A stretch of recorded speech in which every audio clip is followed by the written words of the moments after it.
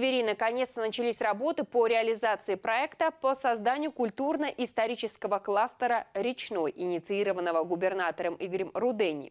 Проект получил поддержку президента Российской Федерации Владимира Путина. По его поручению создана межведомственная рабочая группа под руководством помощника президента Владимира Мединского. Соответствующее финансирование включено в государственную программу.